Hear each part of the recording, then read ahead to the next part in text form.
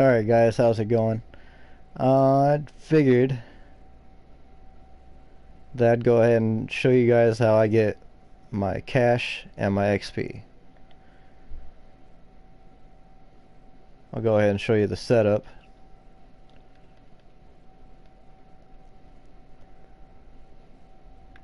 So basically, I use my Brutuses. You can use yeah, I use well both my Brutuses really.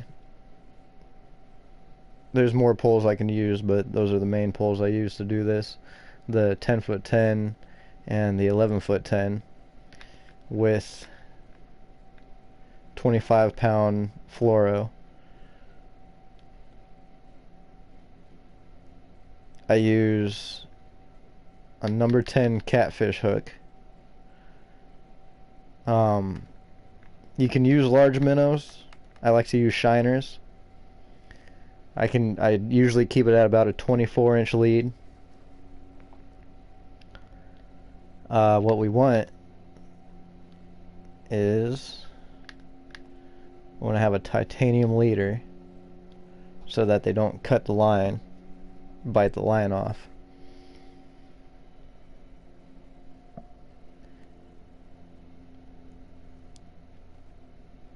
And I think that's about all we really need to know. So let's go ahead and hop over to St. Croix, St. Croix Lake.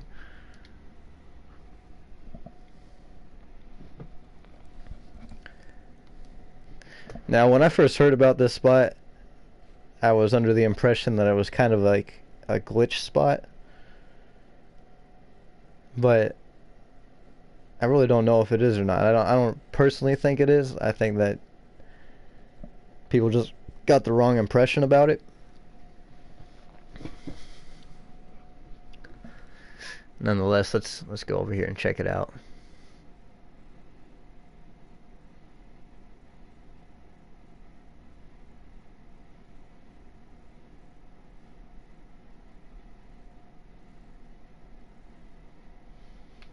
Alright, so we're going to hop over to Woods of the Eastern Bank.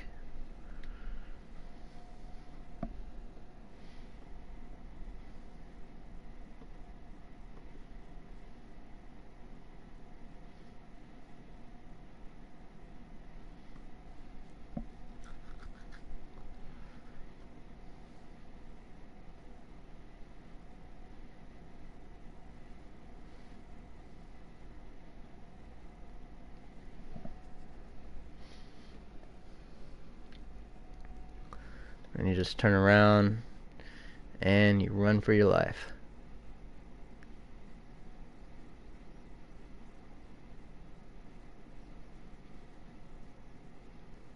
Now as you can see it says I've got a barbless hook. You don't necessarily have to have barbless. Uh, I think barbless is supposed to help you stay out of the weeds, like get caught up in the weeds. Uh, you're pretty much fishing through the weeds though, so if you're not reeling in a fish, you're probably going to be reeling in some sort of weeds. I wouldn't worry too much about it as long as you've got a strong enough pull and strong enough line. Uh, it's not going to matter too much. As you can see, we've already got a couple people over here. Um, this is actually one of the more common spots for people to be fishing. And actually, I feel like I went too far. Yep, it's right here. Okay, so there's actually like a little corner you can get yourself dipped into. Like you can see I stopped there and I'm running along the wall. You don't have to be exactly in this corner, but I think it helps. anyway, uh, there's kind of this little bit of a gap here, I want to say, in between the reeds. Or the brush, or whatever you want to call it. And I like to just cast out about 60 feet. Well, I'd, I'd say between 48 and... Honestly, between 48 and 58 is about what I like to be at for this spot.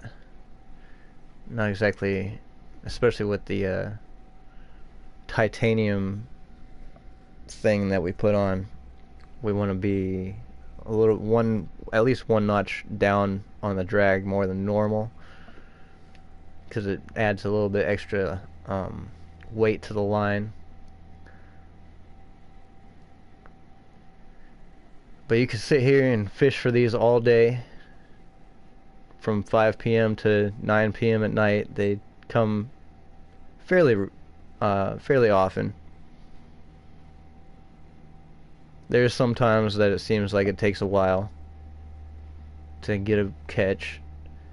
And there is every once in a while you'll get caught up. You'll get snagged on something. You kind of want to pay a little bit of attention to that. But yeah, this is where I like to fish.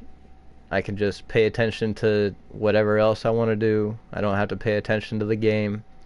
I just I got the the dings going so you can hear when there's a fish close by and you got the rumble on the controller so you can feel it vibrate when there's fish actually biting. And you, know you can tell when your bobber is just going crazy the vibration is going crazy that's when you it's time to hook and sink and start reeling in. So this has been my most common spot to fish um, I'm not great with knowing where to fish or when to fish. Uh, you can catch uniques here. It's basically you catch a lot of trophies. This is a good spot for catching trophy pike. If you fish further out past like 60 or 70, you actually catch something else. I forgot what it was, but I don't like to fish that far out. I like to just focus on the pikes. Um,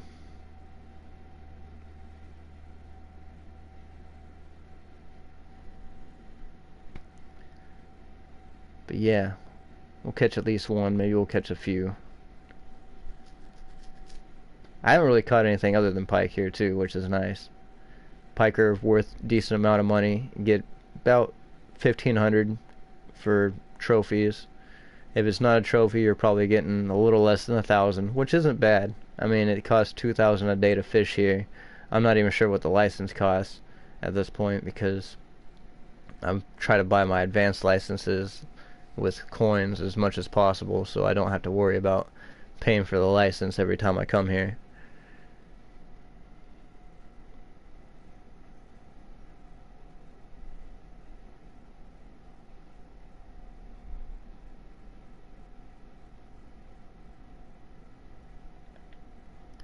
Yeah, you can see that shiner just moving about out there trying to avoid getting eaten.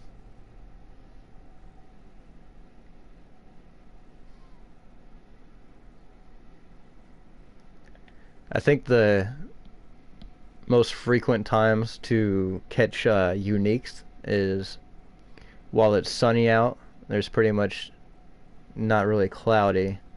I think you might be able to catch them when it's cloudy, but it's not very often. It's pretty. I mean, it's not very often to catch uniques in general.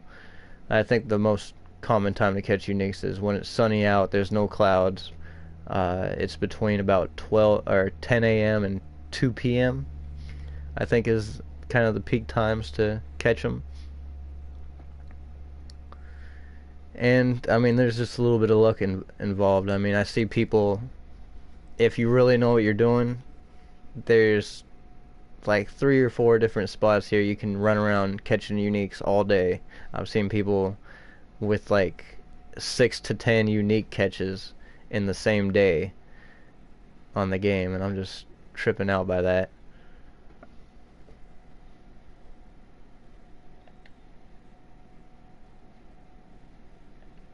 But yeah, this is this is a spot where I usually like to fish.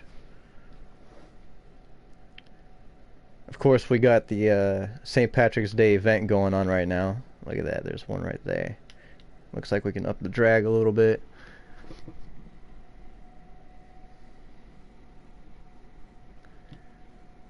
So yeah, like I was saying, we got the St. Patrick's Day event going on right now. So I've been focusing on catching uh, leprechaun fish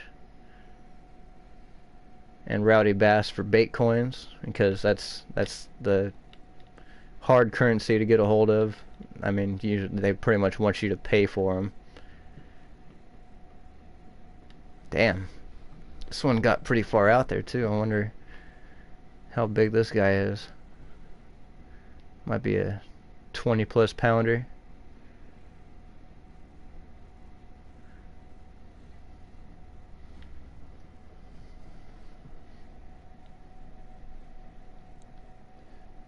Putting up a little bit of a fight it looks like.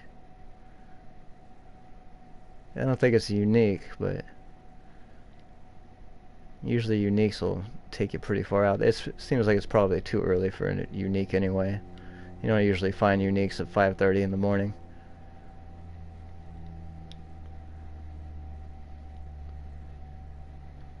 Where's this guy going?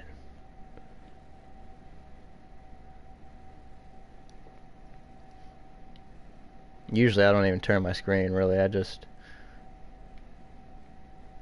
I just stay focused on where I'm casting out. I reel them in, but like I said, I'm I'm usually paying attention to other things. It is kind of fun to really get into it like you're actually fishing, chase the fish down, like I am right now. Like, come here, you little sucker. That's a big fish right there. I got me a humdinger. I'm gonna reel it in. Put it in my Betty Crockett. Come on. Going right in the crock pot. Get over here. Oh, there it is. See what we got here. 21 pounds, not bad. And like you'll see, uh, you see my experience where it says I got 501 experience gain. There's like those three green bars. Uh, that's kind of based off of your gear and how big the fish is that you catch. Because usually most trophies, uh, you'll get those green arrows, which is good. You want the green arrows. You get more XP when you get green arrows. Kind of based off your tackle, like I was saying. Your gear, fishing pole, everything included, really uh, you'll notice if I end up catching one that's not a trophy, most likely it'll be red arrows going down, and that's just, you know, the fish was underneath uh, your gear, basically, and it, you don't get as much experience for it, but, I mean, hell, you saw, I think I got like fourteen hundred, fifteen hundred dollars for that. I don't. I haven't actually pay too much attention to how much it gave me.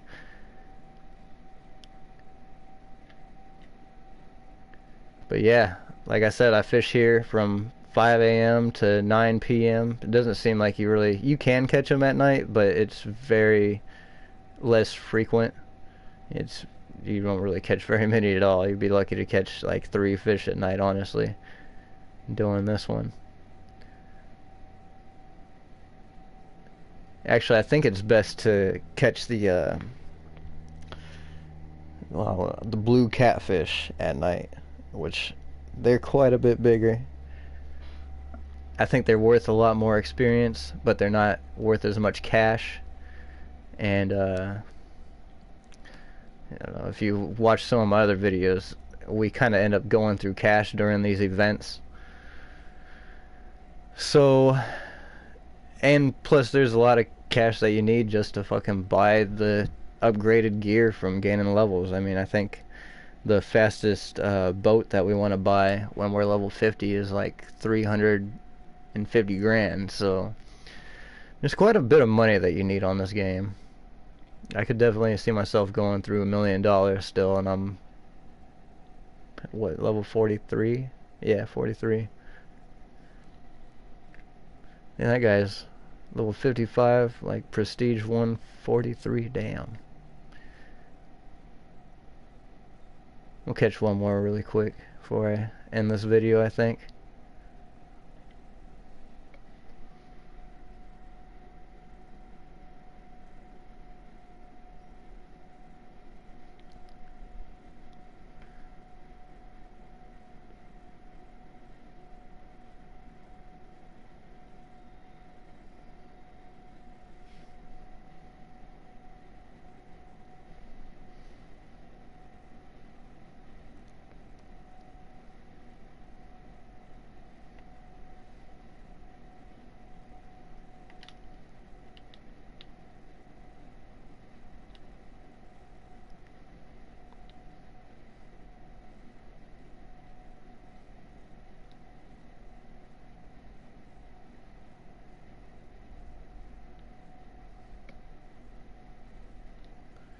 Yeah, like I said, you just number 10 catfish hook, about 24 on the leader length. Make sure you have one of those uh, titanium titanium leaders. I believe is what it was. I'm gonna take a look at it after this actually.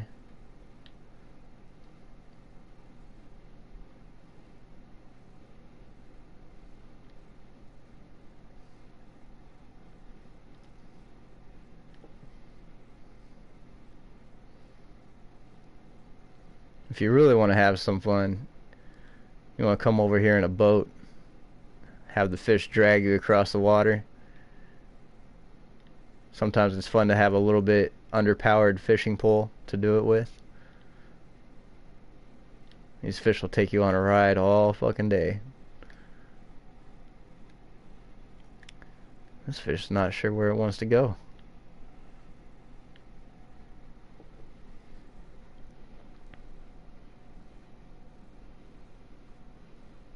Come on.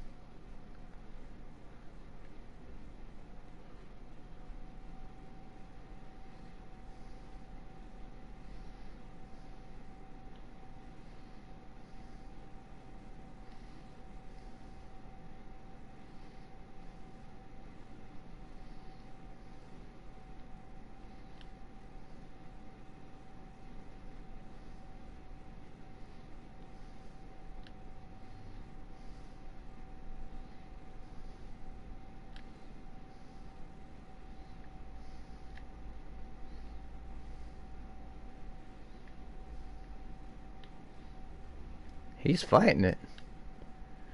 This might be another 20 pounder.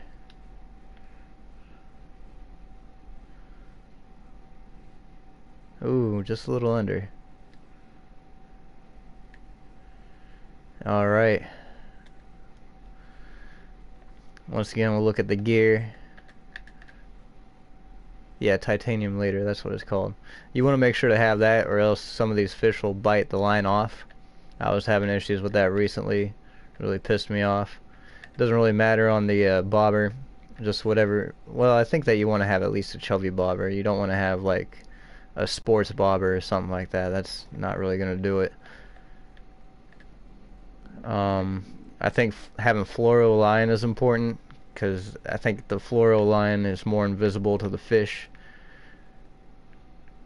Uh, from what I've heard, you kind of happen to catch fish more often with fluoroline. At least these guys, I believe. I'm not the greatest fisherman. I don't really know much about catching the different kinds of fish. I pretty much ask around in the lobbies until I find someone nice enough to actually tell me. like I said, I feel like they catch uh, better with shiners. You can use large minnows and then you want to have about oh I have 43 on this leader. The leader length is 43 on this pole and it's 24 on my other pole. 43 where's my other pole? 43 I have 43 on both of these. Well I guess it's 43 then it doesn't really matter though. You can have it in the 20s. Um, yeah, the number 10 catfish hook is one of the most important things also. And then just having the pole and the reel to actually sustain all those things.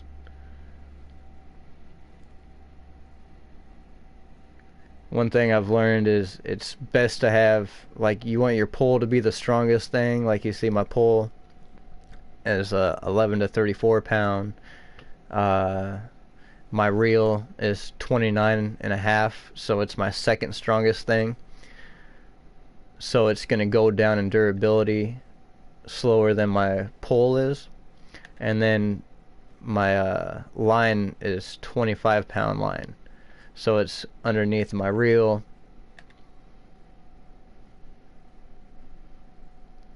oh it's actually the max drag is what you want to look at for the reel it's 26 and a half and then the uh, line, like I was saying, is 25.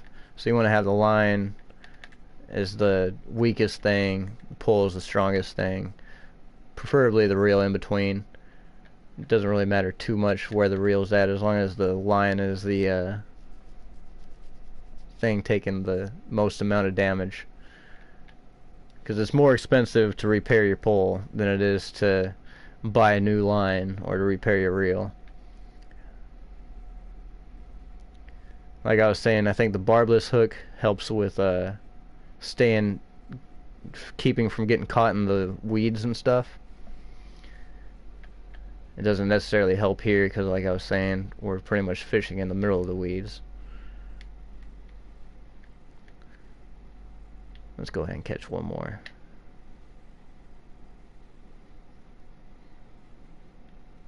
Also, like I was saying, you want to kind of stay in, in between the 48 and 58 foot range.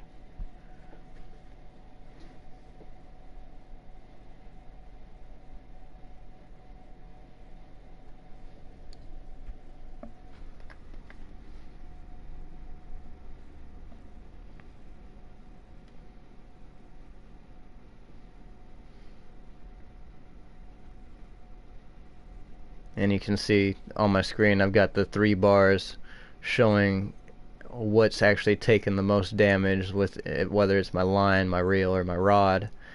Um, I like to look at that rather than the one main bar just so that I can keep track of what's actually taken the most amount of damage.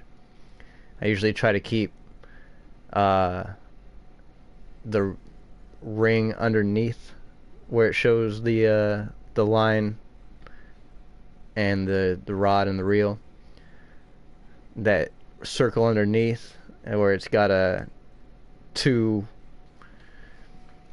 two shaded bars and then it's got uh six like filled in bars. That's your fucking that's your drag and I like to keep my drag just below kind of red barring my uh, my line bar because if if you max out the line bar, you can actually break your line, and you don't want to do that. Of course, this is stuff that you probably already know if you're fishing at St. Croix Lake. Like, this is a high, higher level area to fish at. And I might go into more detail on this stuff in another video. I might make like a beginner guide to Fishing Planet. Because they don't really give you any details. They just like give you about 10 grand to start with. They're like, here you go. Good luck. and you got to do a lot of learning for yourself.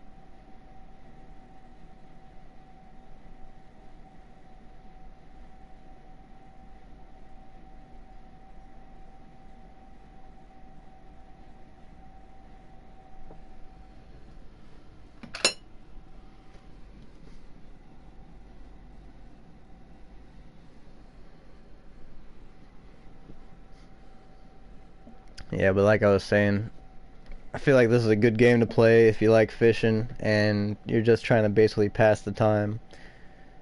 It doesn't help a lot. Like I like I like to do stuff while I'm playing this, so it doesn't help a lot if uh, you're using lures and you're just constantly reeling in, doing different uh, retrieves it's kind of why I, I like this spot so much because you can just set it and forget it until a fish actually bites. Bobber fishing is the way to go on here if you ask me. Although I, I did have to do quite a bit of lure fishing to actually get to this point.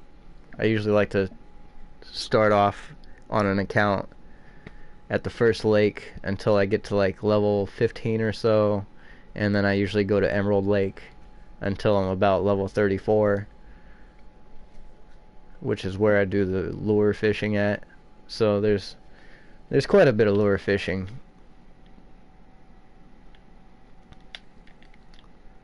Involved to get here at least the way I do it. Or it end up taking way too long. It takes long enough as it is but I don't know. I'm sure there's better strategies out there to level up faster. It's just the thing I found to be the most helpful to me another 19 pounder that one was pretty easy to reel in too see that's almost 1500 bucks so you get some decent money uh, playing here. I get probably between 40 and 60 grand a day off of this place. But anyway, thank you guys for watching. I hope you enjoyed. Feel free to leave some tips or some comments uh, in the comments below. and I'll catch you guys on the next one. Peace out and good luck.